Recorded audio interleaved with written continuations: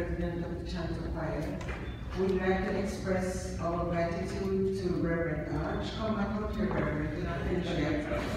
Um, For her, her dedicated and quiet demeanor, her love of the youth, which we have the youth now participating in all the programs that we have here, and we know we will miss her immensely, but as God moves her somewhere else, she came when we needed, she did, and now He's taking her someplace else where she's needed. We know we have a heavy heart today, but thank God that we are here in spirit, we are here, we are here in the Lord, and we want to wish her all the best because we know there may be a hill that she has to climb where she's going.